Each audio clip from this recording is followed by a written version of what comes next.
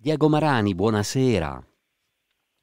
Buonasera. E benvenuto, anzi bentornato qui nel posto delle parole per condividere il suo nuovo libro pubblicato dalla nave di Teseo, L'uomo che voleva essere una minoranza. Diego Marani, leggo nei risvolti di copertina, eh, direttore dell'Istituto Italiano di Cultura di Parigi, eh, è stato per lungo tempo funzionario dell'Unione Europea. È ancora a Parigi per l'Istituto Italiano di Cultura, Diego Marani?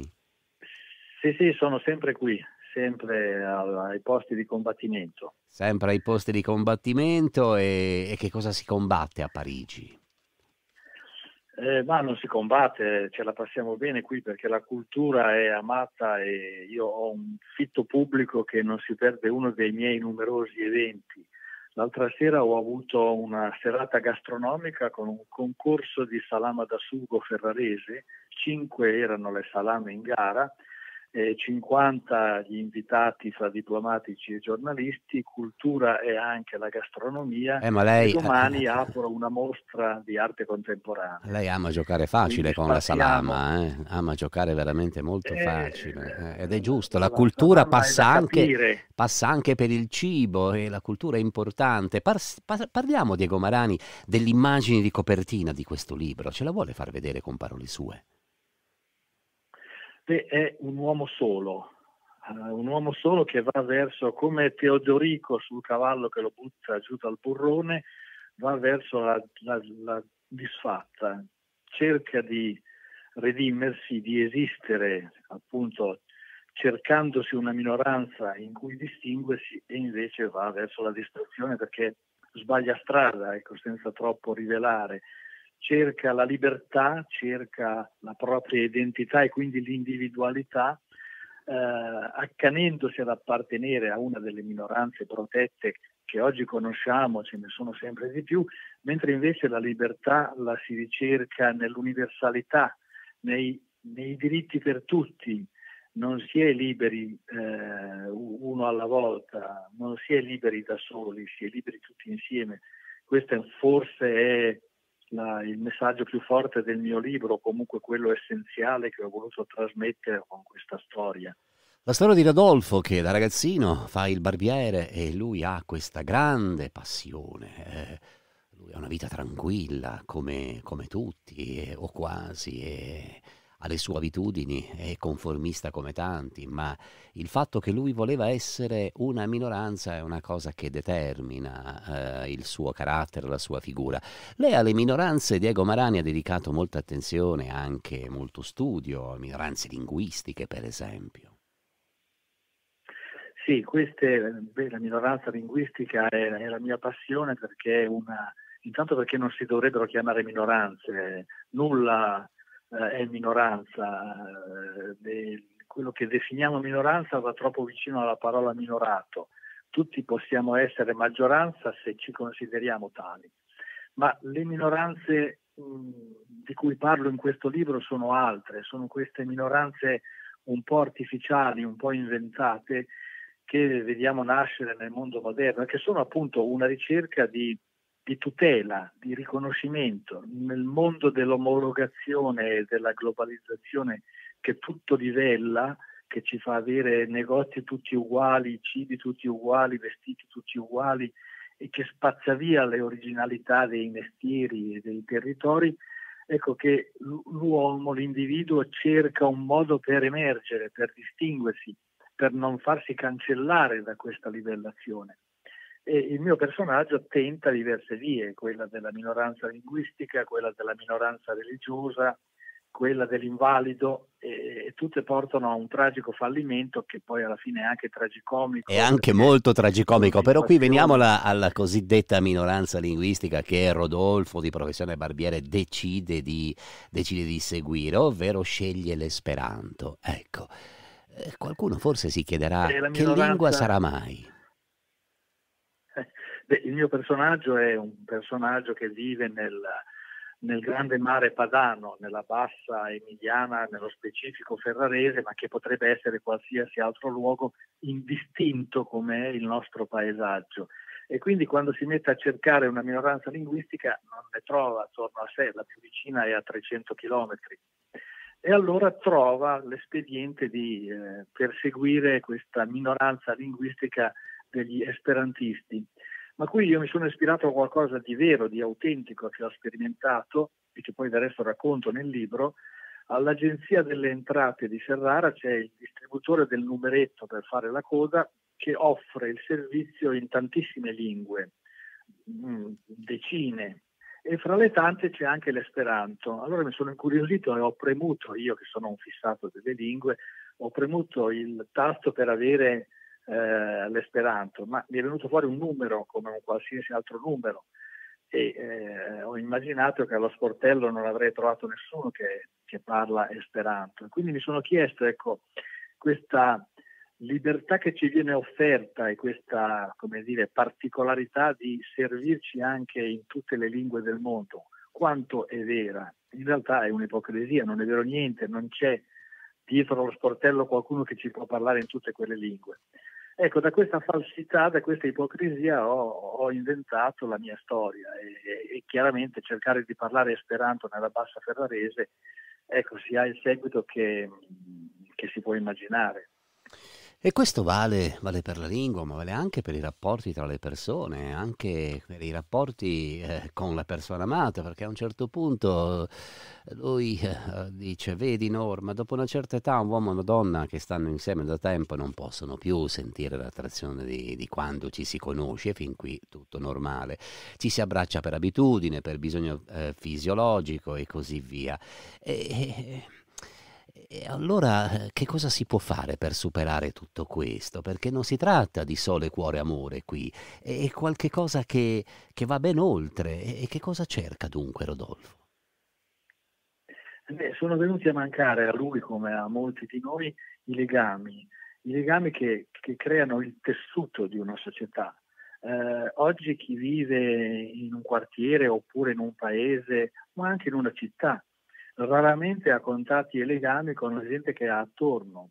Dorme in un posto, lavora in un altro, mangia in un altro ancora e non c'è più appunto quello che chiamavamo una volta anche poeticamente il tessuto sociale. E in fondo anche Rodolfo e sua moglie Norma soffrono di questo perché vivono nella stessa casa, ma uno guarda il computer e quell'altro la televisione.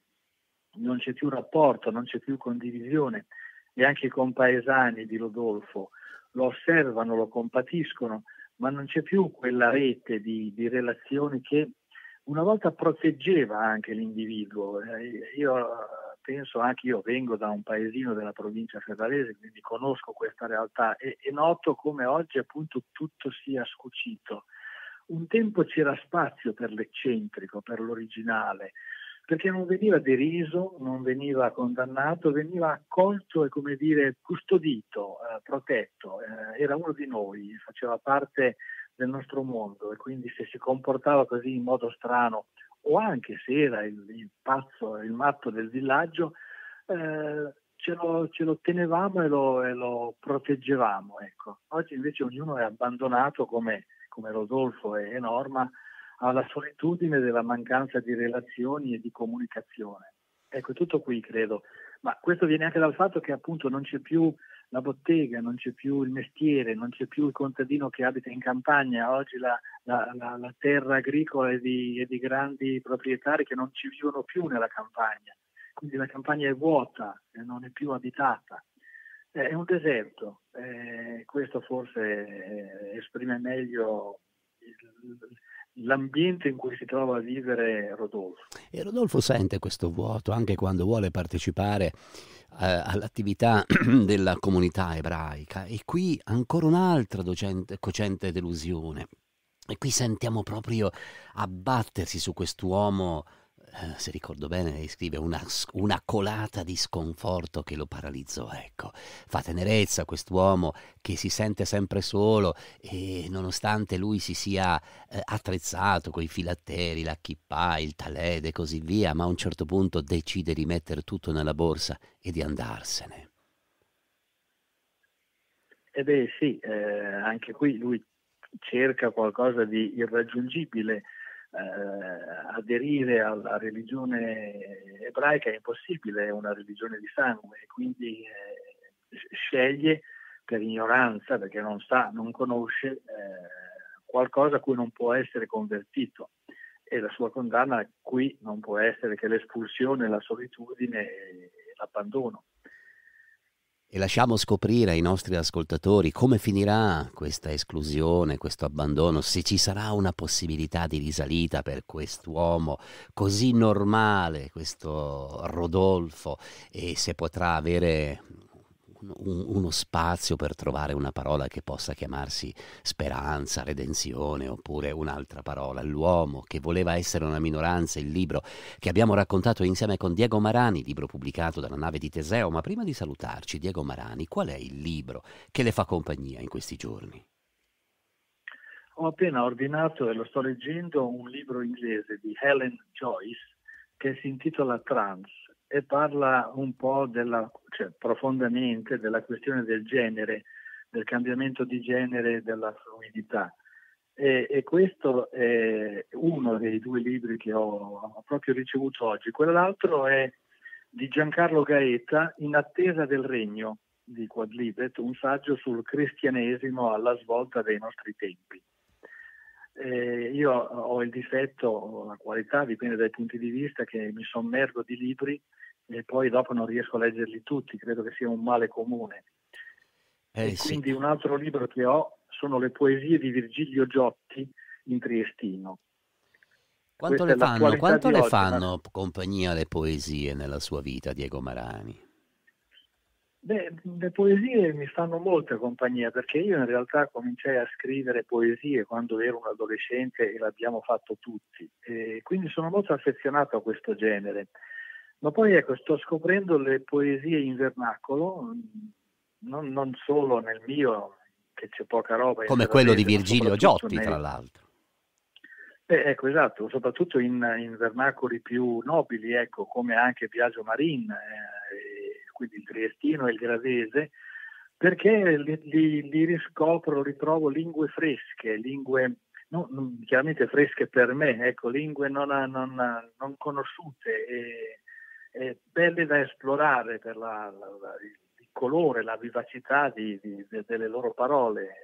Ma lei, eh, Diego Marani, lei ce l'ha, eh, ma lei ha un libro a portata di mano per leggerci qualche verso?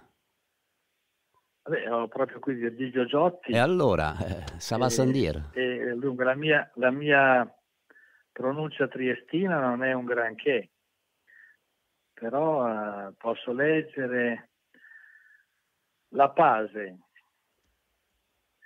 la pase che sarebbe la pace.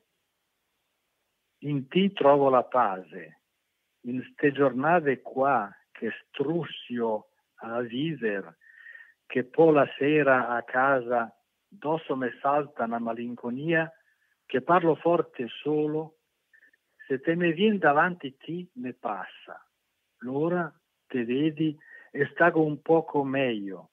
Se come se te fossi pian vignuda, ti drento e pian te me avessi messo, senza dir niente, i bruzzi sulle spalle, in ti trovo la pace, in ti me queto. E eh, che bello, in ti trovo la pace, in ti me queto eh, anche se non si riesce forse a capire ogni, ogni parola, è, è bella la, la, musica delle parole, delle parole di questa poesia, la pace, la pace.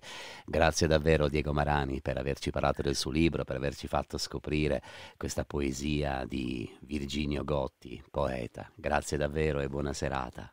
Grazie a lei, arrivederci, buona serata.